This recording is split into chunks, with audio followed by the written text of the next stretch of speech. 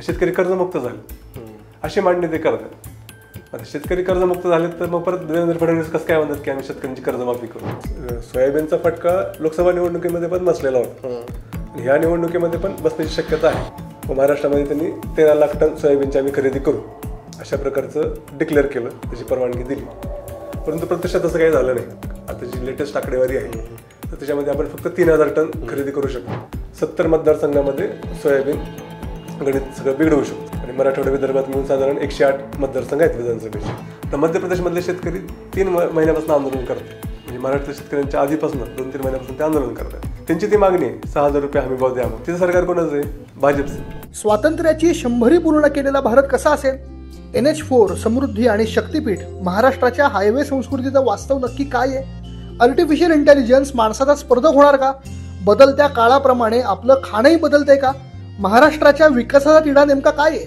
अशा असंख्य प्रश्नांची उकल करणारा विविध रिपोर्टाज आणि दिग्गज लेखकांच्या लेखांनी सजलेला व्हायटल कंटेंट नेटवर्कचा फ्युचरिस्टिक दिवाळी अंक द इन्साइट. अंक घरपोच मागवण्यासाठी डिस्क्रिप्शनमध्ये दिलेल्या लिंकवर क्लिक करा. नमस्कार द पॉलिटिक्समध्ये सगळ्यांचं स्वागत आहे. निवडणूक हळूहळू तापत चालली आहे दोनच दिवस राहिलेत मतदानाला. वेगवेगळे मुद्दे फिरत आहेत बटेंगे तो कटेंगे मराठा वर्सेस ओबीसी असे अनेक प्रश्न आहेत. पण यात शेतीचा मुद्दा कुठे आहे?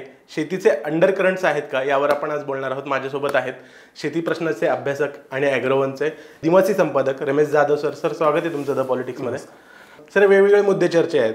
मेनस्ट्रीम मीडियामध्ये लाडकी बहीण मराठा वर्सेस ओबीसी जरांगेंचं आंदोलन बंडखोरी किंवा बटेंगे तो कटेंगे हे सगळे मुद्दे दिसत आहेत. पण यात तुम्हाला शेतीचा पत्रकार म्हणून शेतीच्या मुद्द्यांचे अंडर करंट्स कुठे कुठे दिसत आहेत? निश्चितच आहेत. तुम्ही आता जे उल्लेख केले ते सगळे मुद्दे प्रचारात आहेतच. ते बटिंगे ते कटिंगेपासून मराठा आरक्षण जातीपातीची गणितं लाडकी बहीण हे सगळे मुद्दे आहेतच. पण त्याच्याबरोबर शेतकऱ्यांचे जे काही प्रश्न आहेत ते सुद्धा निवडणुकीमध्ये महत्त्वाचे आहेतच. परंतु लोकसभा निवडणुकीमध्ये असं एक नॅरेटिव्ह होतं की देशभरातल्या शेतकऱ्यांची नाराजी भाजपच्या विरोधात आहे. तर तसं नॅरेटिव्ह आता इथं दिसत नाही कारण हे निवडणूक ही खूप विधानसभा निवडणूक आणि लोकसभा निवडणुकीमध्ये फरक असतो. इथे मतदारसंघ लोकसभेला खूप मोठे असतात. आणि विधानसभेला छोटे मतदारसंघ असतात आणि स्थानिक प्रश्नांवरती तिथं जास्त भर असतो. किंवा तिथले जे काही स्थानिक मुद्दे आहेत किंवा तिथले जे काही जातीपातीचं समीकरण आहेत आणि सगळ्यात महत्त्वाचं म्हणजे उमेदवार तिथला कोण आहे ह्याच्यावरती तिथं जास्त चर्चा होते. आणि बरं बंडखोरी आहे अपक्ष उमेदवार आहेत. ह्या सगळ्यातलं मग तिथले जे काही चित्र असतात ते खूप हायपर लोकल इलेक्शन आहे आपली विधानसभेची यावेळेस तर. तर ह्या हायपर लोकल इलेक्शनमध्ये एकच मुद्दा काहीतरी खूप मोठा परिणाम करून आणू शकेल. असं छातीटोकपणे सांगता येत नाही. परंतु हे सगळे मुद्दे तिथं परिणाम करत असतात. त्याच्यामुळे मग ह्या सगळ्या ह्याच्यामध्ये मग शेतीचे मुद्दे नाहीच आहेत का? तर तसं काही नाही. फक्त शेतीचे मुद्दे ज्या प्रमाणात माध्यमांमध्ये यायला पाहिजे होते मेनस्ट्रीममध्ये तसे ते आलेले नाही आहेत कारण माध्यमांचा त्या अर्थाने कनेक्ट तुटलेला आहे ग्राउंडशी ते थोडंसं बोल्ड विधान आहे परंतु हे खरं आहे. आता जर तुम्ही महाराष्ट्रातल्या कानाकोपऱ्यात जर तुम्ही गेला आणि शेतकऱ्यांशी जर बोलला तर तुम्हाला तिथला त्यांचा मनातला जो काही संताप आहे किंवा सरकारच्या विरोधात जी काही नाराजी आहे ती स्पष्टपणे दिसून येते. आणि मग त्यांना त्यांचं जे काही मत आहे ते व्यक्त करण्यासाठी दुसरी संधी कुठली आहे मतदानाशिवाय? कारण भारतासारख्या देशामध्ये जिथे इतक्या मोठ्या प्रमाणामध्ये गरीब लोक आहेत त्यांच्यासाठी निवडणूक हे त्यांच्यासाठी एक राजकीय हत्यार असतं ज्याच्यामधून ते आपली भूमिका मांडू शकतात किंवा आपल्या हितसंबंधांचं रक्षण करण्यासाठीचं म्हणून एक हत्यार असं आपण त्याला थेरॉटिकली म्हणू शकतो. त्याच्यामुळे हे जे काही आणि अक्रॉस द महाराष्ट्र जर तुम्ही बघितलं तर लोक नाराज आहेत. कशामुळे नाराज आहेत? तर सोयाबीनचे भाव पडलेले आहेत कापसाचे भाव पडलेले आहेत तर मका तेजीत होतात त्याचे पण रेट पडलेले आहेत. कांद्याचे रेट आता वाढलेत परंतु कांदा तर शेतकऱ्यांकडे नाही आहे तो तर व्यापाऱ्यांकडे आहे. त्यामुळे ज्या शेतकऱ्यांनी कांदा विकलेला होता त्यांना नुकसानच झालेलं आहे. दुधाचे रेट पडलेले आहेत. ऊस उत्पादक शेतकऱ्यांची परिस्थिती चांगली होती परंतु सरकारने साखरेची निर्यात बंदी केली इथेनॉलचं धोरण एका रात्रीत बदललं. त्यामुळे ऊस उत्पादक शेतकरी पण नाराज आहेत. त्यामुळं जे काही महत्वाची जी पिकं आहेत त्या सगळ्या पिकांमध्ये सरकारच्या धोरणांमुळे रेट पडलेले आहेत. आणि दुसऱ्या बाजूला अतिवृष्टीसारखी जी काही संकट आलेली आहेत त्याच्यामुळं म्हणजे नैसर्गिक संकट. त्या नैसर्गिक संकटामुळं शेतकऱ्यांचं नुकसान झालेलं आहे. ज्याला आपण आसमानी आणि सुलतानी संकट अशा दोन्ही संकटांना आणि शेतकऱ्यांना ह्या वर्षीच नाही तर मागच्या सलग दोन तीन वर्ष त्याला सामोरं जायला लागते आणि ह्यावेळेस त्याच्यामध्ये आता ह्यावेळेस अशी परिस्थिती झाली की उत्पादन पण कमी आहे आणि रेट पण नाही आहेत म्हणजे दरवेळेस कसं असतं उत्पादन कमी असेल तर मग रेट जास्त असतात. त्याच्यामुळे मग थोडंसं कॉम्पन्सेट होत होते. ह्यावेळेस अशी परिस्थिती आहे की उत्पादन कमी आहे नैसर्गिक संकटामुळं आणि दुसऱ्या बाजूला सरकारच्या धोरणामुळे रेट पडलेले आहेत. त्याच्यामुळं मग शेतकऱ्यांमध्ये नाराजी आहे. आणि ती नाराजी ह्या निवडणुकीचा प्रमुख मुद्दा आहे का? तर एका दृष्टीने जर आपण बघितलं तर मग तो प्रमुख मुद्दा दिसत नाही. परंतु अंडर करंट आहेत का तर निश्चितच आहे. आणि ह्याच्यामध्ये मला एक असं वाटतं की विरोधी पक्षाचं ह्याच्यामध्ये एक कमी पडलेत विरोधी पक्ष. म्हणजे शेतकऱ्यांमध्ये नाराजी आहे आणि त्या नाराजीचा फटका निवडणुकीमध्ये बसू शकतो सत्ताधाऱ्यांना. हे लोकसभेला सिद्ध झालं होतं ना. मग त्यावेळेस कुठला पण जो चतुर पक्ष असेल तो काय करेल की त्याच्या भोवती आपली सगळी जी काही कॅम्पेन आहे ते आखेल त्याच्या भोवती.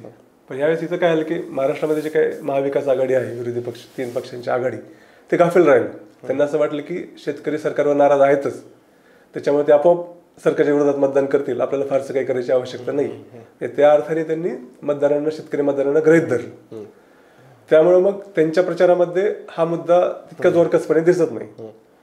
पण त्याला आता अपवाद झाला की ज्यावेळेस राहुल गांधींनी व्हिडिओ कॉल केला शेतकऱ्यांबरोबर की त्यांच्या विमानामध्ये काहीतरी बिघाड झाला त्यामुळे ते सभा घेऊ शकले नाही मग त्यांनी व्हिडिओ कॉल केला.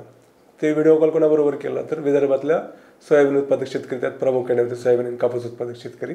तर त्या शेतकऱ्यांनी सांगितलं की आम्हाला सोयाबीनचे रेट पडलेले आहेत हमी भाव मिळत नाही. आणि बाकीच्या पद्धतीने त्यांच्या अडचणी सांगितलं. त्यावेळेस त्यांनी सांगितलं की आम्ही आमच्या जाहीरनाम्यामध्ये राहुल गांधी म्हणाले की आम्ही जाहीरनाम्यामध्ये आश्वासन दिले की आम्ही सात हजार रुपये भाव देऊ. आता चार हजार आठशे ब्याण्णव रुपये हमी भाव आहे आणि प्रत्यक्षात रेट मिळतोय. चार हजार एकशे चार हजार दोनशे रुपये रेट मिळतोय. आणि मागच्या वर्षी याच काळामध्ये पाच हजार दोनशे रुपये रेट मिळत होता. त्यामुळे शेतकरी अडचणीत आहेत. मग राहुल गांधींनी त्यांना सांगितलं की आम्ही कर्जमाफी करू आणि सात हजार रुपये हमी भाव देऊ. ही दोन प्रमुख आश्वासनं त्याच्यात होती. त्यानंतर एक सभा झाली विदर्भामध्येच. त्यावेळेस त्यांनी हीच मांडणी केली की सोयाबीनला आम्ही सात हजार रुपये भाव देऊ. आणि त्याच्यानंतर मग अं, मोदींची जी सभा झाली तर मोदींना पण या विषयावर बोलावं लागलं. त्यांनी सांगितलं की ज्यावेळेस आमचं सरकार परत सत्तेवर येईल त्यावेळेस आम्ही सोयाबीनला सहा हजार रुपये हमी भाव देऊ. आणि परत भावांतर योजना लागू करू. तर देवेंद्र फडणवीस पण ते म्हणले की भावांतर योजना आम्ही कायमस्वरूपी लागू करू असं धोरण हे करतोय. भावांतर म्हणजे काय तर जास्त सोयाबीन सारखी एखादी कमोडिटी आहे त्याची रेट पडतात. म्हणजे हमी भावापेक्षा खाली जातात. त्यावेळेस हमी भाव आणि बाजारभावातला जो फरक आहे तो थेट शेतकऱ्यांच्या अकाउंटवर जमा करायचा.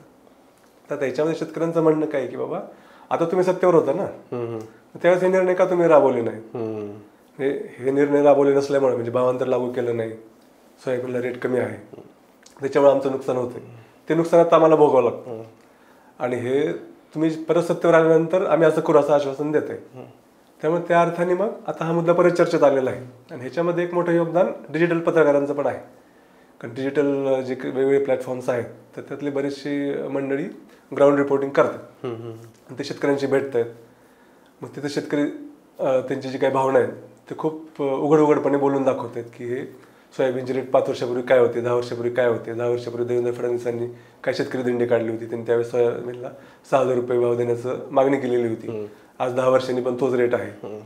आणि मधल्या काळामध्ये मग खतं असतील बियाणं असतील औषधं असतील म्हणजे शेतीसाठी जे काही निविष्ठा लागतात त्याचे रेट मात्र दुप्पट तिप्पट झाले. आणि अशा परिस्थितीमध्ये मग आम्हाला हे परवडत नाहीये किंवा आमचं हे नुकसान होतंय.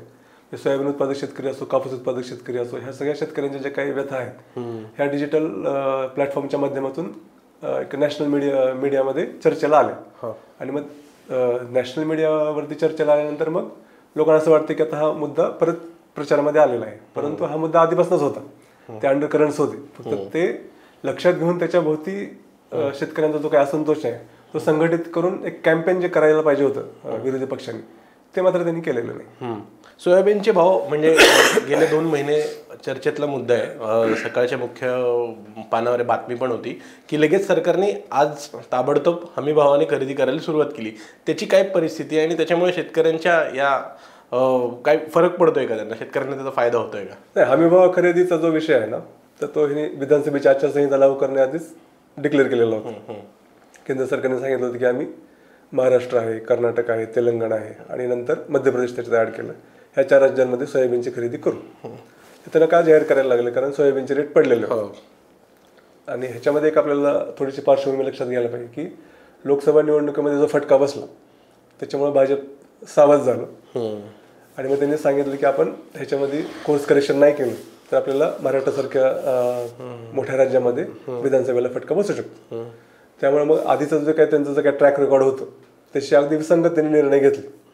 शेतकरी हिताचे निर्णय घेतले. ते कुठले निर्णय घेतले. तर खाद्यतेल आयातीवरती जे शुल्क आहे ते वाढवलं. जेणेकरून मग खाद्यतेलाची आयात कमी होईल. म्हणजे सोया तेलाची आयात कमी होईल आणि मग सोयाबीन सोया तेलाची डिमांड वाढेल आणि सोयाबीनचे रेट वाढतील असं त्याच्यामागचं गणित होतं. दुसरं त्यांनी काय केलं महाराष्ट्रामध्ये की भावांतर योजना लागू करू म्हणून असं सांगितलं. परंतु प्रत्यक्षामध्ये ते खोटेपणा होता. ते काही भावांतर नव्हतं. तर त्यांनी सोयाबीन आणि कापूस उत्पादक शेतकऱ्यांना हेक्टरी पाच हजार रुपये मदत देणार. आणि ते वाटप पण त्यांनी सुरू केलं. त्याला खूप उशीर झाला पण ते सुरू केलं.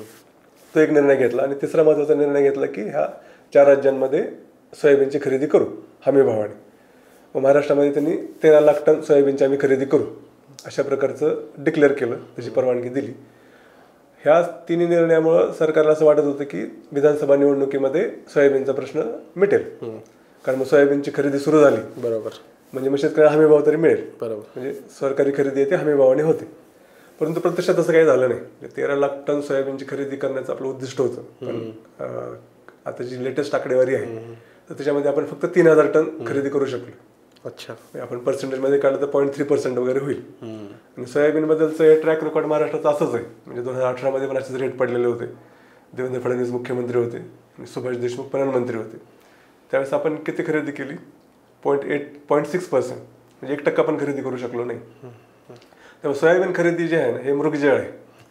त्यामुळे सोयाबीन खरेदी जर झाली असती समजा मोठ्या प्रमाणावर आणि दिवाळीच्या आधीच तर मग दिवाळीला शेतकऱ्यांना हमी भावाच्या खाली माल विकायची वेळ आलेली आली नसती. परंतु सोयाबीन एक तर खरेदी केंद्र सुरू झाली नाही. आणि ज्या प्रकारचे सोयाबीन खरेदीसाठी ज्या प्रकारची यंत्रणा उभी करायला पाहिजे होती तशी झाली नाही. कारण यांनी घाई घाई आचारसंहिता लागण्याच्या काही दिवस आधी ते निर्णय जाहीर केले. त्या पद्धतीची व्यवस्था जी उभी करायला पाहिजे होती ती उभी केली नाही. आणि दुसरं त्याच्यामध्ये काय आहे की जे सोयाबीन खरेदीचे जे निकष आहेत म्हणजे आता सोयाबीन आता यावेळेस पाऊस खूप लांबला होता परतीचा पाऊस लांबला त्याच्यामुळे सोयाबीनमध्ये मॉइश्चरचं प्रमाण खूप आहे. आता ह्या खरेदीचा एक निकष काय आहे की अमुक क्वालिटीचं सोयाबीन असेल तरच ते सरकारी खरेदी हमी भावाने सरकार खरेदी करतं. त्याच्यामध्ये एक निकष काय की त्याच्यामध्ये मॉइश्चर किती असायला पाहिजे? तर मॉइश्चर बारा टक्के असायला पाहिजे असा तो नियम आहे. मग बारा टक्केच्या वर जर मॉइश्चर असेल तर खरेदी होऊ शकत नाही. अनेक अटी शर्ती त्याला आहेतच. पण मुख्य आहे ती मॉइश्चर आता जर सोयाबीन तुम्ही काढलेलं आहे आता सीझन सुरू झालेला आहे हार्वेस्टिंगचा मग आता मॉइश्चर हे बारा टक्क्यापेक्षा जास्तच आहे. त्याच्यामुळं प्रत्यक्षामध्ये सोयाबीनची खरेदी झालेलीच नाही. कागदावरच राहील.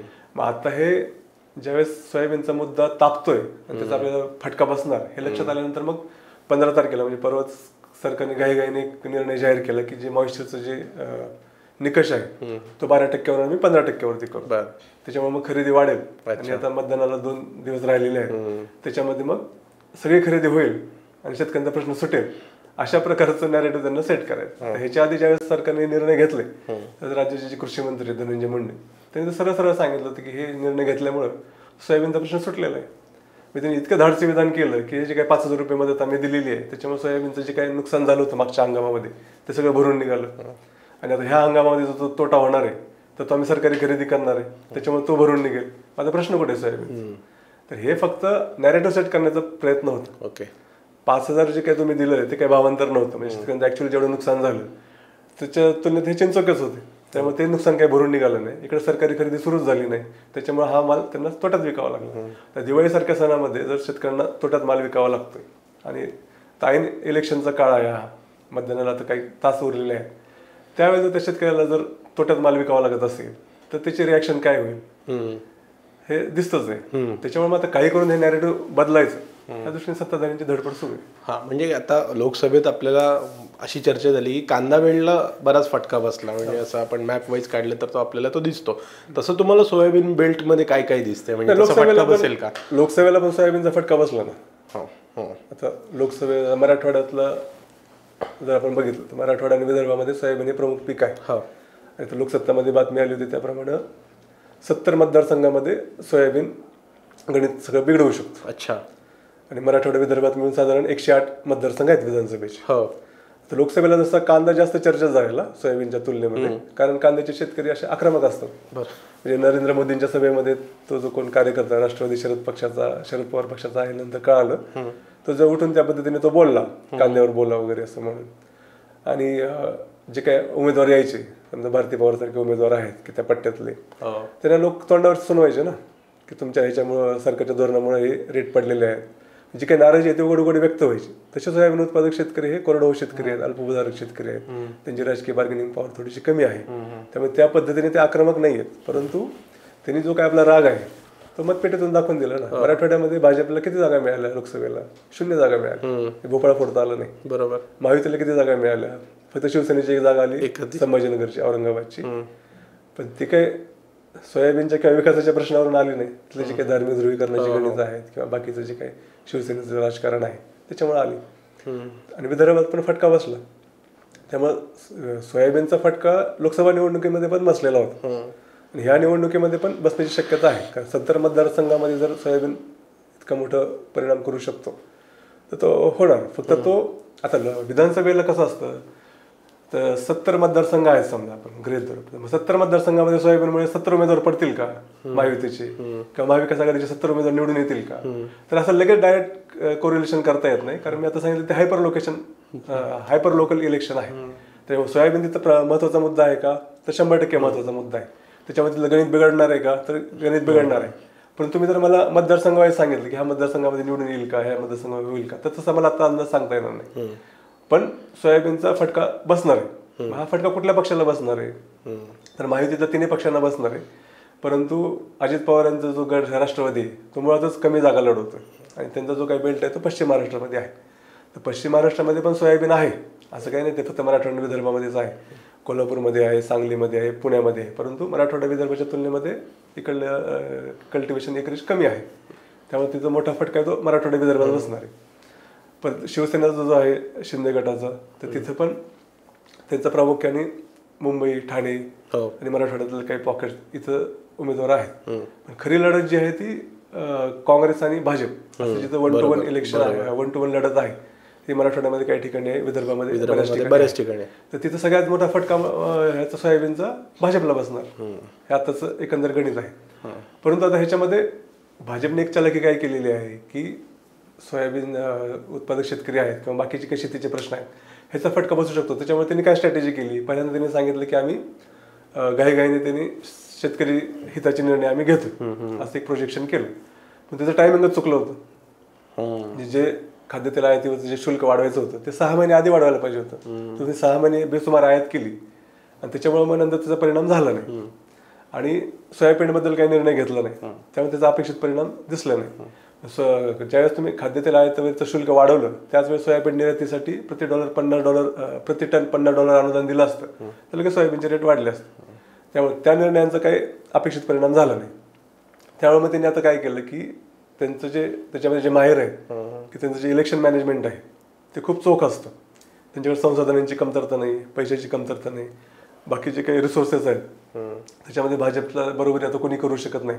त्यामुळे तिथलं जे काही मायक्रो मॅनेजमेंट आहे किंवा तिथलं जे काही मायक्रो प्लॅनिंग आहे प्रत्येक मतदारसंघाचं त्याच्यावर त्यांनी आता फोकस दिलाय. म्हणजे शेतकऱ्यांमधल्या ज्या नाराजीला शह देण्यासाठी प्रत्येक मतदारसंघांमधलं मायक्रो प्लॅनिंग त्याच्यावरती आपण भर द्यायचा. मायक्रो प्लॅनिंगमध्ये आणखी एक गोष्ट काय आहे? तर मग आपल्या विरोधातली जी काही मतं आहेत त्याचे फाटाफूट करण्यासाठी मग अपक्ष उमेदवारांना रसद पुरवायची बंडखोर उभे करायचे.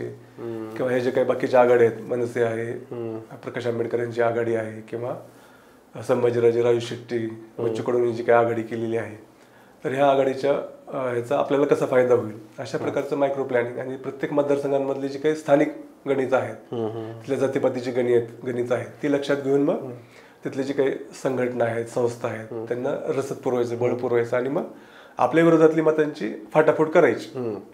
हे एक त्यांचं मायक्रो प्लॅनिंगचं आहे.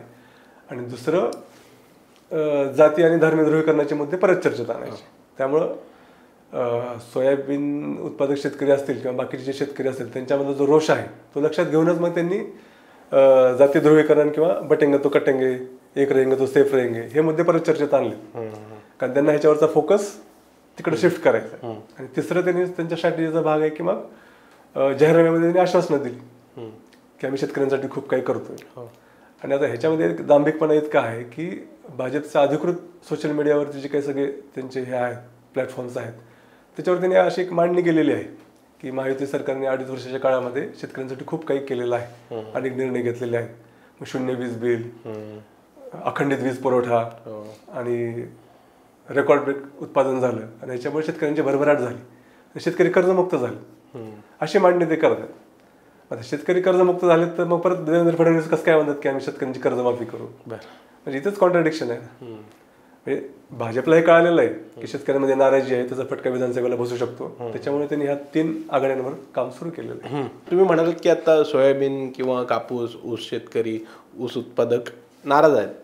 पण शेतकरी मतदान करताना असा विचार करेल का की ठीक आहे नुकसान होतं शेतीमध्ये पण कमीत कमी महायुती वेळच्या वेळी आमच्या खात्यात डीबीटी म्हणजे पैसे तर ट्रान्सफर करते तेवढी तरी मदत होती. म्हणजे महाविकास आघाडीला मत देऊन असं काय होणार आहे? असा विचार करू शकतो तर डीबीटी हा वेगळा विषय. महाविकास आघाडी सरकार आलं समजा ते डीबीटी बंद करणार आहेत का? नाही. डीबीटी हा एक रिफॉर्म आहे. की आधी जे त्यात भ्रष्टाचार होत होता त्याच्याऐवजी तुम्ही डायरेक्ट बेनिफिशरीच्या अकाउंटवर पैसे जमा करताय तर त्याच्यामुळे खूप प्रमाणात भ्रष्टाचार कमी झाला.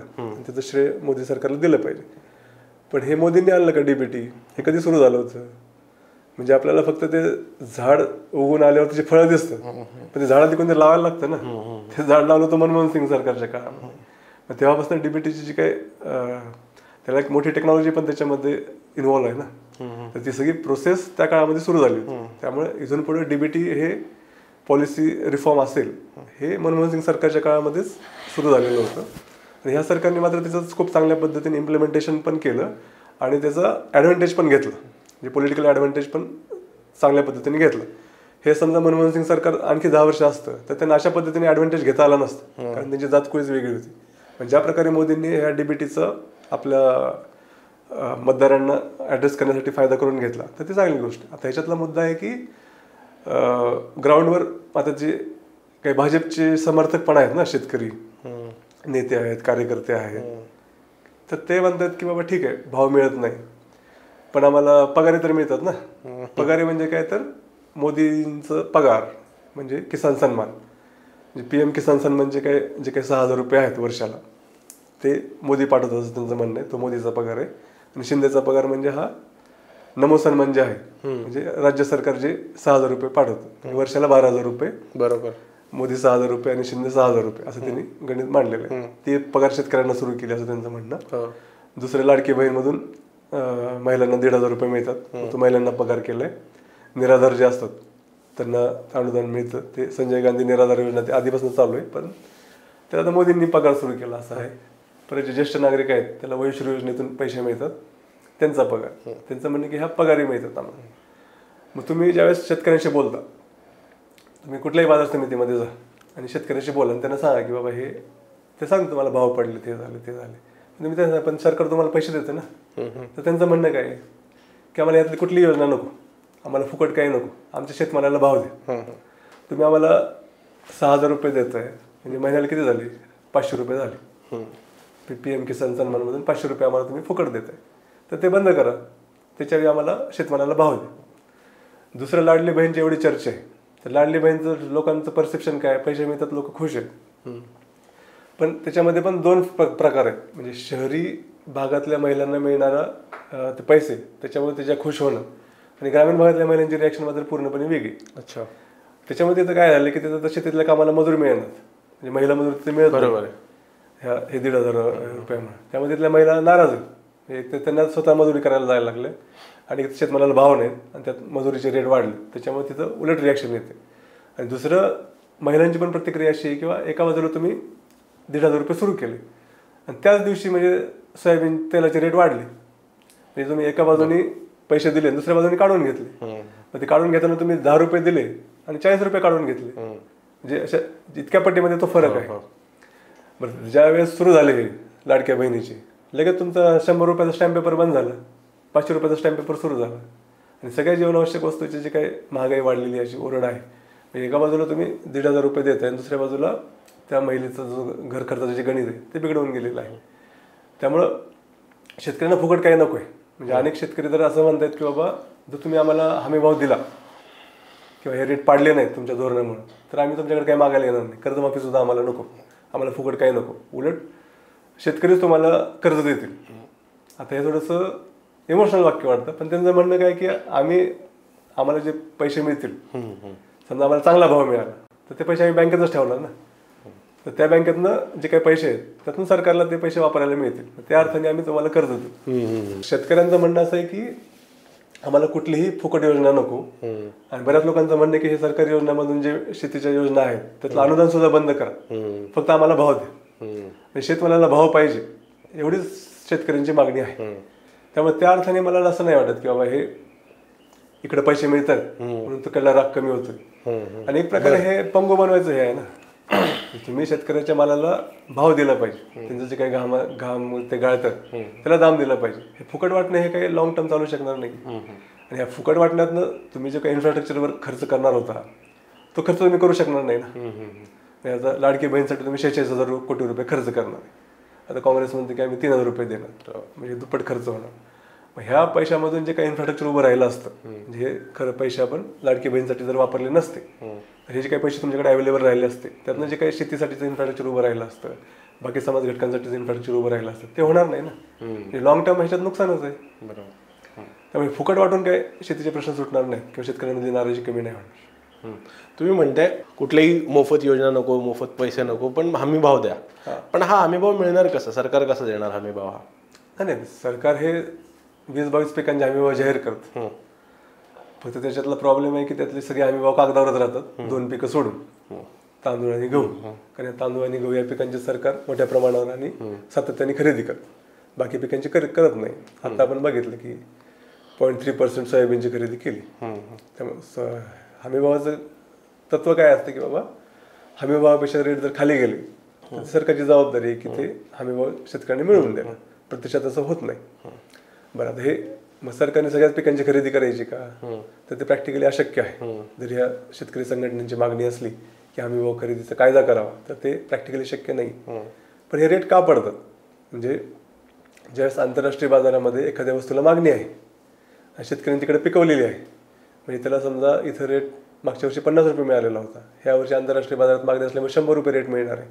त्यावेळेस सरकारने निर्यात बंदी केली. मग ते रेट जे शंभर रुपये मिळायला पाहिजे होतं तो चाळीस रुपयावरती आला. म्हणजे जो मागच्या वर्षी मला पन्नास रुपये रेट मिळणार होता त्याच्यापेक्षा मला दहा रुपये कमी रेट मिळाला. मग ही सरकारची चूक आहे ना? ज्यावेळेस शेतकऱ्याला आंतरराष्ट्रीय बाजारामध्ये मागणी असते त्यावेळेस तुम्ही निर्यात बंदी करता. आणि ज्यावेळेस तिथं एक्सेस उत्पादन होतं त्यावेळेस त्याची खरेदी करत नाही. त्यामुळे मग दोन्ही सिनेरिओमध्ये शेतकरी तोट्यात राहतो. त्यामुळे मग आता ही सरकारची जबाबदारी. शेतकरी सरकारकडे भाव का मागतायत कारण तुम्ही हे जे काही आयात निर्यातीचे खेळ करून हे रेट पाडलेत. बरोबर. त्याच्यामुळं ही तुमची जबाबदारी आहे असं त्यांचं म्हणणं आहे. त्यामुळे ज्यावेळेस आपण म्हणतो की बाबा सरकारने भाव दिला पाहिजे तर हे सरकारनं काही सगळ्या पिकांची खरेदी करणं अपेक्षित नाही. तर हे जे काही आयात निर्यातीची जी काही धोरणं तुम्ही शेतकरी विरोधी राबवत आहे तर ते प्रो फार्मर धोरणं राबवली पाहिजे. तरच हा. प्रश्न सुटू शकतो. हां. सरकारने जर का मग असं हस्तक्षेप करणं सोडून दिलं तर ते नेहमीप्रमाणे पुन्हा शेतीमालाचे भाव वाढतात मग महागाई वाढते अशी ओरड केली जाते. मग दुसऱ्या बाजूला अशी विधान येतात की कांदाचा भाव वाढला तर खाणं बंद करा. तर त्या बाबतीत काय म्हणणं? नाही दोन्ही गोष्टीमध्ये एक्स्ट्रीम लेवलला सगळं आहे. सरकारचा प्रयत्न काय असतो की इमिजिएट आपल्याला लगेच त्याचा फटका बसू नये. म्हणजे आता कुठलंही सरकार जरी आलं म्हणजे मनमोहन सिंग सरकार असेल किंवा मोदी सरकार असेल तर या सरकारचा मुख्य जो रोख असतो म्हणजे त्याच्यामध्ये गुणात्मक फरक आहे थोडाफार पण मुख्य जो असतो किंवा शहरी ग्राहकांना झळ बसू नये. त्यामुळे एका मर्यादेपलीकडे शेतमालाची किमती वाढू नयेत जेणेकरून निवडणुकीमध्ये फटका बसतो. त्यासाठी काय करायचं? मग शेतमालाचे रेट पाडायचे. त्यासाठी मग आयात निर्यातीचा खेळ करायचा. बरोबर. शेतमालाचे रेट पाडायचे. पण ह्याच्यामध्ये सरकारने ॲक्च्युली दोन्ही घटकांचं संतुलन साधायला पाहिजे. म्हणजे एका मर्यादेपलीकडे रेट वाढू नयेत किंवा महागाईचा रेट वाढू नये. जेणेकरून रिझर्व्ह बँकेला मग रेपो रेट किंवा जी काही जे पॉलिसी असतात त्याच्यामध्ये अडचण होते. तर ती खबरदारी घेणं ग्राहकांची काळजी घेणं की शेव- शेवटी शेतकरी पण ग्राहकच आहेत ना. हो. फक्त शहरातले लोक ग्राहक आहेत आणि शेतकरी ग्राहक नाहीत अशातलं नाही ना. शेतकरी पिकवणारा पण आहे आणि ग्राहक पण आहे. त्यामुळे ग्राहकांची काळजी घेणं हे जसं सरकारचं काम आहे तसंच त्या उत्पादकांना पण चार पैसे मिळाले तर ते शेती करू शकतील ना. त्याच्यामुळं शेतमालाला पण भाव मिळाला पाहिजे. आणि श- महागाई पण एका मर्यादेपलीकडे वाढू नये. याच्यासाठी जो बॅलन्स करायचा असतो ते मुळात सरकारचं काम आहे. ते न करता तुम्ही फक्त एका घटकाला दाबत राहिला तर त्याचे दुष्परिणामच होणार असतात. आपल्याकडे काय होतं किंवा आता निवडणुका आहेत निवडणुकीमध्ये शहरी मतदारांचा रोष नको. म्हणून रेट पाडायचे. आता साखरेच्या निर्यातीवर आपण बंदी का घातली? दोन वर्षापासून बंदी आहे. हो. तर साखरेला आंतरराष्ट्रीय बाजारामध्ये मोठी मागणी आहे. परंतु साखरेची निर्यात झाली तर इथं तुटवडा पडेल इथं रेट वाढतील मग लोकसभा निवडणुकीमध्ये फटका बसेल. म्हणून मोदी सरकारने तर निर्यातील बंदीला मदत वाढतील. तर आता स- कडधान्य असो तेलबिया पिकं असो किंवा कापूस सोयाबीन असो ह्या प्रत्येक गोष्टीमध्ये आपण विचार काय करतो की बाबा इथं महागाई वाढू नये. त्याच्यामुळे मग शेतकऱ्यांना दाबायचं. त्याच्यामुळे काय होतं? शेतकऱ्याला समजा ह्या सीझनमध्ये पैसे नाही मिळाले. पुढच्या सीझनमध्ये एक तर तो ते क्रॉप क्रॉप घेणार नाही. किंवा घेतलं तर त्याच्यावर जास्त खर्च करणार नाही. त्याच्यामध्ये त्याचं उत्पादन कमी होणार उत्पादन तर कमी होणार. मग एक दोन वर्षांनी परिस्थिती काय होणार? की त्या मालाचं शॉर्टेज तयार होणार. शॉर्टेज झालं की त्याचे रेट परत वाढणार. ते रेट वाढले की आपण परदेशातून आयात करणार. त्यासाठी पैसे खर्च करणार. मग शेवटी आजचं मरण तुम्ही उद्यावर ढकलताय ना. शेतकऱ्यांच्या मालाला तुम्ही भाव दिला नाही. ह्याच्यामुळं शेतकऱ्यांचं नुकसान तर आज झालंच नक्की पण ग्राहकांना तुम्हाला वाटतं की आम्ही रिलीफ दिला. पण तो रिलीफ तात्पुरता आहे. सहा महिन्यांनी एक वर्षांनी दोन वर्षांनी परत तो प्रश्न जास्त उग्र होतो. तो निस्तारण्यासाठी तुम्हाला जास्त पैसे खर्च करायला लागतो त्यावेळेस ग्राहकांना जास्त जळ बसते. त्यामुळे ह्याचा शॉर्ट टर्म विचार नाही करायला पाहिजे. ह्याच्यासाठी लॉंग टर्म पॉलिसी पाहिजे. समजा खाद्यतेल आहे. खाद्यतेल आयातीमध्ये आपण निर आत्मनिर्भर नाही आहे आपल्याला आयातीवरती डिपेंड राहायला लागतंय. मग मोदी एकीकडे सांगतात की आपल्याला ह्याच्यात आत्मनिर्भर व्हायचं आहे आणि दुसऱ्या बाजूला तुम्ही खाद्यतेलाची बेसुमार आयात करता. मग कसं तुम्ही आत्मनिर्भर होणार? त्यामुळे ह्या प्रत्येक पिकामध्ये किमान पाच वर्षाचं किमान दहा वर्षाचं लॉंग टर्म धोरण पाहिजे. आता कडधान्यांच्या बाबतीत एक लॉंग टर्म धोरण मोदी सरकारने केलं पण तुम्हाला खूप आश्चर्य वाटेल की हे धोरण मराठवाड्यातले जे काही कडधान्य उत्पादक शेतकरी आहेत विदर्भातले कडधान्य उत्पादक शेतकरी आहेत पश्चिम महाराष्ट्रातले कडधान्य उत्पादक शेतकरी आहेत उत्तर महाराष्ट्रातले कडधान्य उत्पादक शेतकरी आहेत ह्यांच्यासाठी नाही आहे ते आफ्रिकेतल्या देशांसाठीच आहे. म्हणजे आपल्याकडे कडधान्याचं शॉर्टेज आहे. मग आता कुठला पण शहाणा राज्यकर्ता काय करेल की इथले जे शेतकरी आहेत त्यांनी जास्त कडधान्य पिकवा म्हणून प्रयत्न करेल. तसे प्रयत्न मोदींनी पण केले. ज्यावेळेस तुरीचं शॉर्टेज होतं त्यावेळेस त्यांनी शेतकऱ्यांना आवाहन केलं की तुम्ही तूर पिकवा. शेतकऱ्यांनी विक्रमी तूर पिकवली. त्यावेळेस त्यांनी खरेदीच केली नाही. हो. त्यामुळे मग शेतकऱ्याला खूप नुकसान झालं. मग निम्म्या शेतकऱ्यांनी परत तूरच लावली नाही. मग त्यावेळेस काही ऊस उत्पादक शेतकऱ्यांनी सुद्धा ऊसाच्या ऐवजी तूर लावली होती. तुम्ही म्हणताय ना क्रॉप डायव्हर्सिफिकेशन करायला पाहिजे. ऊस हे खूप पाणी पिणारं पीक आहे राक्षसी पीक आहे ऊसाऐवजी कडधान्य घ्या कडधान्याची आपण आयात करतोय. मग त्यांनी घेतलं ना पीक त्यावेळेस तुम्ही त्याला काय केलं? त्याची माती केली. तो शेतकरी परत आयुष्यात कधी तूर लावेल का? नाही लावणार. मग तुम्हाला आत्मनिर्भर करायचं असेल ना तर इथल्या शेतकऱ्यांना बळ दिलं पाहिजे. बळ दिलं पाहिजे म्हणजे त्यांना फुकट पैसे नाही द्यायला पाहिजे. त्यांनी जे काय माल पिकवलाय त्याच्यासाठी एक ॲश्युरन्स द्यायला पाहिजे की तुम्ही आणि तुमची गरज आहेच ना. तुम्ही जे परदेशातून आयात करताय त्याच्याऐवजी इथल्या शेतकऱ्यांनी पिकवलं त्याला जर तुम्ही भाव जास्त दिला तर ते तुमची गरज भागू शकते. ह्याच्याऐवजी मोदी सरकारने काय केलं की आपण आफ्रिकेतल्या देशामध्ये जमिनी लिजवर घ्यायच्या. आणि तिथल्या शेतकऱ्यांना सांगायचं की तुम्ही कडधान्यांची लागवड करा. आणि तुम्ही जे काही कडधान्य लागवड जेवढं पिकवाल ते तुम्ही भारताला द्या. आणि आम्ही तुम्हाला गॅरंटी देतो की तुम्ही जेवढं पिकवाल ते सगळं आम्ही खरेदी करू. आणि भारताच्या शेतकऱ्यांना आम्ही जेवढे पैसे देतो रेट देतो त्याच्यापेक्षा जास्त पैसे आम्ही देऊ तुम्हाला. आणि तुम्ही ते पिकवा. त्याप्रमाणे ते पिकवतात. पहिल्यांदा पाच वर्षाचं धोरण होतं. पाच वर्ष आपण त्यांच्याकडनं ते खरेदी केलं. नंतर सांगितलं की ह्याचे रिझल्ट चांगले आहेत. आणखी पाच वर्ष मुदत वाढते म्हणजे आफ्रिकेतल्या शेतकऱ्यांना कडधान्य उत्पादक शेतकऱ्यांना दहा वर्षाची गॅरंटी मोदी सरकारने दिली. तशी गॅरंटी तुम्ही भारतातल्या शेतकऱ्यांना द्या ना. त्याच्यापेक्षा ते जास्त पिकवतील की नाही? त्यामुळे हे लॉंग टर्म पॉलिसी नाही आपल्याकडे कुठल्या शेतमालाची. त्याच्यामुळे हे प्रॉब्लेम होते मग फक्त मग आपण इलेक्शन पुरतं चर्चा करतो की मग ह्याचे रेट वाढलेत मग काय करायचं? मग खरेदी करा भावांतर करा. त्याच्यानी तहान लागल्यावर विहीर खोदून उपयोग नाही. आणि त्या अर्थाने मग महा- महायुतीचं सरकार असो किंवा महाविकास आघाडीतले पक्ष असो ह्यांच्याकडे काही लॉंग टर्म दृष्टी दिसत नाही ह्याच्यात काही विजन दिसत नाही शेत शेतकऱ्यांचे प्रश्न सोडवण्यासाठी. म्हणजे प्रत्येक शेतमालासाठी एक लॉंग टर्म विजन आणि दुसरीकडे कमीत कमी हस्तक्षेप याने शेतकऱ्यांचा प्रश्न बऱ्यापैकी मिटू शकतो असं म्हणायचं आहे का? हो. त्यातनं फक्त शेतकऱ्यांचा नाही तर ग्राहकांचाही फायदा होऊ शकतो. तुम्ही शेतकरी आणि ग्राहक हे एकमेकांचे शत्रू आहेत अशी मांडणी करून उपयोग नाही. शेवटी हे सगळे स्टेक होल्डर्स आहेत. म्हणजे शेतकरी हा एक मोठा स्टेक होल्डर आहे जो उत्पादक आहे ग्राहक हा मोठा स्टेक होल्डर आहे कारण तो खरीददार आहे. सरकार एक मोठा स्टेक होल्डर आहे व्यापारी आहे कमिशन एजंट आहे. तर ह्या सगळ्या स्टेक होल्डरला जर त्याच्यातनं काही फायदा झाला व्हॅल्यू ॲडिशन झालं तरी ती चेन चालू शकते ना. तुम्ही अशी भावनिक मांडणी करायची की हे व्यापारी तुमचे शत्रू आहेत. हो. आणि शेतकऱ्यांच्या जवळ- जाऊन त्याचं रडत बसायचं ह्याच्यातनं हा प्रश्न सुटणार नाही. म्हणजे हा प्रश्न आर्थिक आहे. ह्याला भावनिक ह्याच्यातनं उत्तर मिळणार नाही. हे आपण लक्षात घेतलं पाहिजे. दोन्ही दोन्ही जाहीरनामे आलेत. महायुतीचा पण जाहीरनामा आलाय आणि महाविकास आघाडीचा जाहीरनामा आलाय. तुम्हाला त्या जाहीरनाम्यात काय दिसतं? शेतकऱ्यांसाठी काही ठोस दिसतं का? की भूलताबा दिसते आता आपण जी चर्चा केली त्याच्यातला ह्याच्यात त्या जाहीरनाम्यामध्ये काय आहे का? कारण शेतीचा जो प्रश्न आहे तो हा स्ट्रक्चरल रिफॉर्मचा प्रश्न आहे.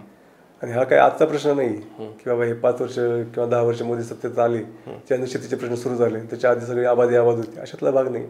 हा खूप वर्षापासूनचा जुना आजार आहे आणि त्या- त्याच्यावर जर सोल्युशन काढायचं असेल तर आपल्याला एक लॉंग टर्म पॉलिसी याच्यामध्ये पाहिजे. आणि त्याच्यामध्ये स्ट्रक्चरल रिफॉर्म्स आपल्याला करायला पाहिजे. म्हणजे आपण संरचनात्मक सुधारणा म्हणतो ते करायला पाहिजेत एक तर शेतीबद्दलची जी काही धोरणं आहेत ती बदलली पाहिजेत. जे पायाभूत सुविधा आपल्याकडे नाही आहेत शेतकऱ्यांना आता डिस्ट्रेस सेल का करावा लागतो? म्हणजे आता रेट आपले लोक काय म्हणतात की आता एवढी आवक बाजारात आल्यावर रेट पडणारच ना. अरे पण त्याला ते भाग आहे ना.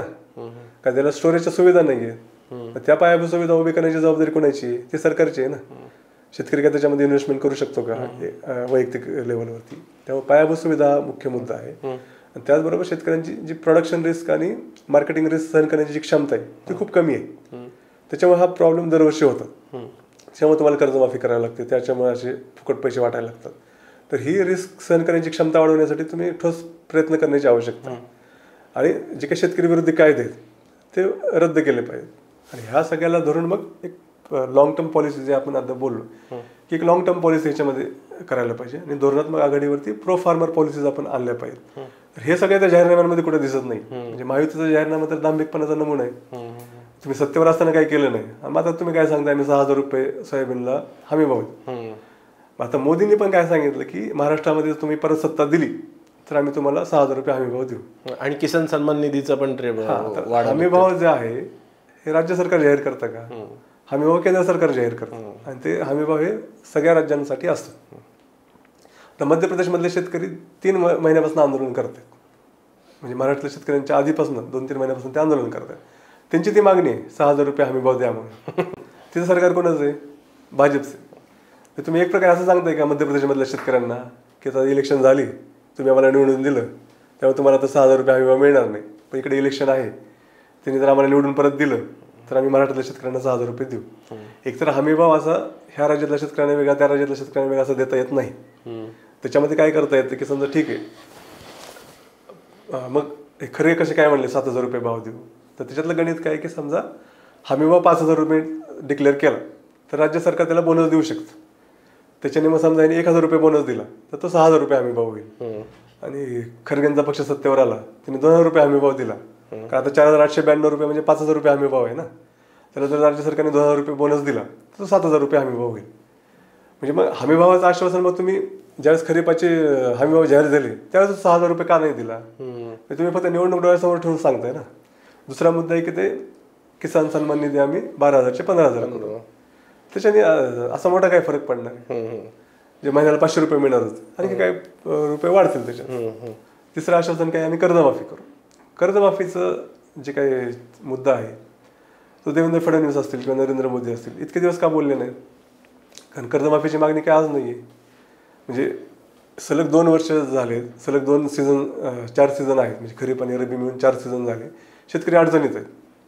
त्यामुळे शेतकरी ज्यावेळेस सगळे मार्ग खुंटतात त्यावेळेस ते कर्जमाफीची मागणी करतात. कर्जमाफी हे तात्पुरता उपाय आहे. एक लॉंग टर्म सोल्युशन नाही. ते सलाईन आहे. पण ज्यावेळेस पेशंट आयसीयू मध्ये आहे त्यावेळेस त्याला सलाईन तर द्यावं लागतं ना. आता हे डॉक्टरची जबाबदारी किंवा पेशंटला आपण काय आयसीयू मध्ये सलाईनच का देतोय? लॉंग टर्म त्याच्यावर उपचार का करत नाही? त्यामुळे कर्जमाफीची मागणी योग्य आहे की अयोग्य हा वेगळ्या स्वतंत्र चर्चेचा विषय आहे. परंतु शेतकऱ्यांमध्ये मागणी आहे. आणि त्या मागणीला ट्रॅक्शन पण खूप आहे. आणि महाविकास आघाडी ज्यावेळेस लोकसभेच्या प्रचारात होती त्यावेळेस राहुल गांधी सातत्याने सांगत होते की आम्ही कर्जमाफी करू देशपातळीवरती. आणि त्यांनी ते एक नॅरेटिव्ह सेट केलं होतं की बाबा हे कर्जबडी उद्योगपती आहेत. त्यांचं तुम्ही अमुक लाख कोटी रुपयाचं कर्ज माफ केलं. आणि मग शेतकऱ्यांचं का करत नाही? हे नॅरेटिव्ह ते आता पण मांडतात. मग कर्जमाफीचा जो मुद्दा आहे तो महाराष्ट्रामध्ये दोन वर्षापासून चर्चेत आहे. देवेंद्र फडणवीस त्याच्याबद्दल एका अक्षराने बोलले नाही. आणि नरेंद्र मोदी पण बोलले नाही. आणि आता जाहीरनाम्यामध्ये तुम्ही सांगताय की आम्ही कर्ज माफ करू म्हणून. पण महाविकास आघाडीने सांगितलं की आम्ही तीन लाखापर्यंत कर्ज माफ करू. त्यांनी काय आकडा दिलेला नाही. आणि त्यामुळे मग सरसकट कर्ज माफ करतील असा त्याचा अर्थ निघतो. आणि आता देवेंद्र फडणवीस मात्र स्पष्टपणे सांगतोय की आम्ही सगळं संपूर्ण कर्ज माफ करू. त्याच्यातले दोन अर्थ निघतात. एक तर ते निवडून आल्यावर बघू काय करायचं ते. किंवा आता त्यांना आता कॉन्फिडन्स आला असेल की आपण निवडून येत नाही. त्यामुळे हा शब्द पडायची गरज नाही. त्यामुळं जाहीरनाम्यामध्ये जे काही ठोस मांडणी करायला पाहिजे होती ना की शेतीचे मूलभूत प्रश्न सोडवण्यासाठी आम्ही हे लॉंग टर्म आणि शॉर्ट टर्म ह्या उपाययोजना करणार आहे. तर ते दोन्ही जाहीरनाम्यांमध्ये कल्पकतेचा अभाव आहे. त्यामुळं जसं महायुतीचा जाहीरनामा हा कुचकामी आहे तसंच महाविकास आघाडीचा पण जाहीरनामा कुचकामी आहे. सर शेवटचा प्रश्न मराठा आरक्षण आंदोलनाच्या निमित्ताने.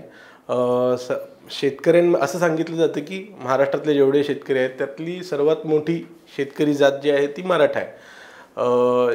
मराठ्यांचे प्रश्न आणि शेती शेतीचे प्रश्न एकमेकांशी किती जोडलेले तुम्हाला दिसतात? कनेक्टेड आहेत का ते प्रश्न? नाही मुळात आरक्षणाची जी मागणी आहे ना तर ते आरक्षण दिलं जावं की नाही मराठ्यांना? मराठ्यांना ओबीसीतून आरक्षण मिळणार का? किंवा ह्याच्यातले जे काही विषय ते थोडे आपण बाजूला ठेवू. आरक्षणाची मागणी आली कुठून मुळात? ती शेती तोट्यात आहे. म्हणून आरक्षणाची मागणी करण्याची वेळ आहे. आणि फक्त महाराष्ट्रातले मराठे नाही. तुम्ही इकडले जाट घ्या.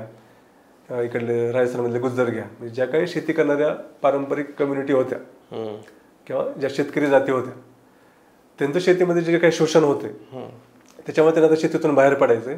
आणि मग आरक्षण मिळालं तर आपल्याला नोकऱ्या मिळतील. शिक्षणामध्ये आपलं शिक्षण घेता येईल आपल्या मुलाबाळांना. त्यांना नोकऱ्या मिळतील. एवढा त्याचा अर्थ आहे. त्यातला जो काही सामाजिक न्यायाचा जो विचार आहे तर तो त्यांच्या दृष्टीने आपण त्यांच्याकडे अपेक्षा करू शकत नाही इतकी त्यांची आता वाईट अवस्था आहे. त्यामुळे जो शेतकरी आता आज आत्महत्या करतो की उद्या आत्महत्या करतोय अशा अवस्थेमध्ये आहे. त्याला आपण हे आरक्षण म्हणजे काही गरिबी निर्मूलनाचा कार्यक्रम नाहीये. हे सामाजिक न्यायाचा हत्यार आहे वगैरे. ही पोपटपंच आपण त्याच्यासमोर जाऊन करू शकत नाही ना. त्यामुळे शेतीची जी काही दुरस दुरवस्था झाली त्याच्यातनं हे आरक्षणाचा मुद्दा आलेला आहे. त्याच्यामुळे ह्याचं जे काही सोल्युशन शोधायचं आहे त्याचे काही शेतीचे प्रश्न सोडवले तर मग हे आरक्षणाच्या प्रश्नावरती उत्तर मिळू शकतं. दुसरा याच्यातला जो जो मुद्दा आहे की हे फक्त मराठा जाती शेतकरी आहेत का? तर तसं नाही. आता आरक्षणाच्या मुद्द्यावरनं मराठा विरुद्ध ओबीसी असे पण वातावरण झालेलं आहे महाराष्ट्रामध्ये विशेषतः मराठवाड्यामध्ये विदर्भामध्ये. तर या ओबीसी जाती पण शेतकरीच जाती आहेत. ओबीसी जाती म्हणजे कोण आहेत? माळी आहेत धनगर आहेत वंदरी आहेत अशाच जाती आहेत ना? हे परंपरागत शेतकरी समूह आहेत. उलट माळी तर बागायती शेतकरी आहेत. परत धनगर तर ह्या शेतीची जी काही व्यवस्था आहे.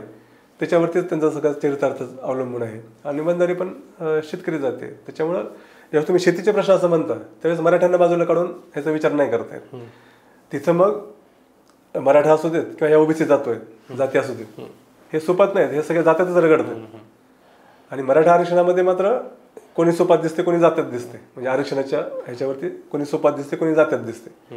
पण शेतीची जी काही अडचण आहे तिची काही मराठ्यांची अडचण आहे तीच ओबीसींची आहे ना. असं नाही होत ना मार्केटमध्ये की मराठ्यांच्या सोयाबीनला जास्त रेट मिळतोय आणि वंदरच्या सोयाबीनला कमी रेट मिळतोय. असं होत नाही ना. सोयाबीनचे रेट पडले तर त्याचा फटका सगळ्यांनाच बसतोय. त्यामुळं शेतीचे जे काही प्रश्न आहेत त्याच्यामुळेच आरक्षणाच्या मागणीचं हे वाढलेलं आहे. आणि त्याच्यातनं ते आंदोलन उभं राहिलेलं आहे. त्याच्यामुळे मूळ प्रश्न सोडवायचा असेल म्हणजे आरक्षणाचा प्रश्न सोडवण्यासाठी काय करायला पाहिजे ही मांडणी वेगळी. बरोबर. परंतु त्याच्यातलं जो मूळ दुःख नाही त्याच्यावरती पण उपाय करायला पाहिजे ना. तुम्ही नुसतं आरक्षण देऊन हा प्रश्न सुटणार नाही कारण तुम्ही सरकारी नोकऱ्या किती आहेत तुमच्याकडे? शेवटी आरक्षण तर सरकारी नोकऱ्यामध्येच मिळणार आहे ना. आणि काही शिक्षणामध्ये फायदा होईल तेवढा. परंतु जोपर्यंत मूळ प्रश्न सुटत नाही तोपर्यंत हा असंतोष वाढतच राहणार आहे. आणि दुसरं ह्याच्यामध्ये तुम्ही मनोज जरांगे पाटलांचं एकंदर जे आंदोलन बघितलं तर त्याच्यामध्ये तुम्हाला एक शिफ्ट दिसेल. की जरांगे पाटलांना आता जो काही त्यांची काही क्रेडिबिलिटी वगैरे जे वाद विवाद जे आहेत ते सगळे आपण बाजूला ठेवू. कारण हा मग स्वतंत्र चर्चेचा विषय आहे. हो. पण त्यांचा जो फॉलोअर आहे त्याचं वय काय आहे आता? पंचवीस ते चाळीस ह्या वयोगटातला जो काही तरुण आहे तिथला विशेषतः मराठवाड्यातला तर तो त्यांच्या मागं आहे. त्याला शेती नको आहे कारण आपल्या बापाचे काय हाल होत आहेत हे त्याला दिसतंय. त्याला शेतीतून बाहेर पडायचं पण त्याला इकडे नोकऱ्या नाही आहेत किंवा त्याला रोजगाराच्या संधी तिथं नाही आहेत किंवा उद्योगधंद्यामध्ये त्याला जे काही क्वालिफिकेशन लागते ते त्याच्याकडे नाही आहे आणि त्यावेळेस त्याला असं वाटतं की बाबा ह्या काही ज्यांना आरक्षण मिळतं ज्या जाती आहेत त्या जातीतले मुलं मात्र पुढे जात आहेत आपल्यापेक्षा. त्याच्यामुळे तो दोष देतोय आरक्षणाला. की आपल्याला आरक्षण नसल्यामुळे आपल्यावर ही वेळ आलेली आहे.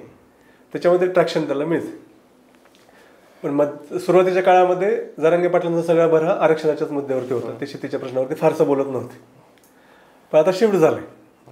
त्यांनी आता शेतीचे प्रश्न मोठ्या प्रमाणावरती बोलत येतात ते आता काय बोलतायत? आमच्या सोयाबीनला भाव नाही. बरोबर. तुम्ही लाडकी बहिणीला दीड हजार रुपये देता. मग सोयाबीनला का भाव देत नाही? सोयाबीन कापसाला भाव नाही. म्हणजे इथले जे काही तरुण आहेत त्यांच्या हाताला काम नाही शेतमालाला भाव नाही. आणि मग हे प्रश्न तुम्ही सोडवा. अशा प्रकारची ते मांडणी करतायत. म्हणजे आता हे विधान थोडंसं धाडसाच होईल परंतु हळूहळू ते चाचपणी करतायत की आपण एक शेतकरी आंदोलन पण उभं केलं पाहिजे. फक्त मराठा आरक्षणापुरतं मर्यादित न राहता शेतकरी आंदोलन पण उभं केलं पाहिजे जेणेकरून ज्यात मराठा व्यतिरिक्त इतर जातींच्यांना पण आपण सामावून घेऊ शकतो. आता त्यात ते कितपत यशस्वी होतील किंवा त्यांची चाचपणीचं पुढं काय झालं हे मला आता सांगता येणार नाही परंतु हा शिफ्ट आपल्याला दिसतोय. हो. त्याच्यामुळे सुरुवातीला जरी असं वाटत असलं म्हणजे बऱ्याच लोकांचा असं समज होता की सोयाबीनचा प्रश्न आहे किंवा बाकीच्या शेतमालाचा जो प्रश्न आहे मराठवाड्यामध्ये तो थोडा साईड लाईनला पडलाय मराठा आरक्षणाच्या मुद्द्यामुळं. आणि मराठा आरक्षणामुळे मग तिथले जे काही जातीपातीचे जे काही राजकारण आहे ते मोठ्या प्रमाणात वाढले. तर ते अर्धसत्य आहे. साईडलाईनला पडल्यासारखं वाटतं कारण ते माध्यमांमधून येत नव्हतं. अंडर करंट्स आहेतच आधी म्हणल्याप्रमाणे. शेतकऱ्यांमध्ये तो अंडर करंट आहे आणि जरांगेने आता हे अशा प्रकारे बोलण्याला सुरुवात केल्यामुळं की तुम्ही लाडक्या बहिणीला दीड हजार रुपये देता सोयाबीनला का भाव देत नाही. त्याच्यामुळे हे डेडली कॉम्बिनेशन होते. की मराठा आरक्षण पण पाहिजे आणि शेतमालाला भाव पण पाहिजे. मग हे कोण करत नसेल त्याच्या विरोधात आम्ही आहोत. म्हणजे आता ह्याच्या पलीकडे जाऊन जर दरांगीने अशी भूमिका घेतली असती किंवा सोयाबीनचे काप सोयाबीन कापसाचे भाव पाडणाऱ्यांना ह्या निवडणुकीत पाडा तर त्याचा जास्त आणखी फटका बसू शकतो. तो फटका ऑब्व्हियसली भाजपलाच बसणार. त्यामुळे हे मराठा आरक्षण आणि हे जातीपातीची गणित हे जरी तिथं असतील आणि ते आहेतच ते वास्तव आहेत पण त्याचबरोबर शेतमालाचा जो प्रश्न आहे तो ह्याच्यामुळे काही झाकवायला गेला असं काही झालेलं दिसत नाही. सर खूप खूप धन्यवाद. तुम्ही द पॉलिटिक्सशी बोललात. शेतीचा प्रश्न म्हणजे राज म्हणजे निवडणूक आल्यानंतर या शेतीच्या मुद्द्यांचं राजकारण कसं होतं? आणि त्याचे शेतीच्या मुद्द्यांचे अंडरकरंट्स तुम्ही खूप सोप्या भाषेत समजून सांगितलेत. खूप खूप धन्यवाद. आपण पुन्हा भेटू. तुर्तास इथेच थांबू. धन्यवाद.